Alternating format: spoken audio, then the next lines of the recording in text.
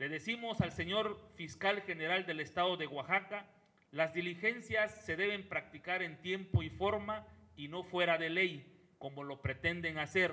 Por ello, el Cabildo Cuchiteco propone desde estos momentos a peritos especialistas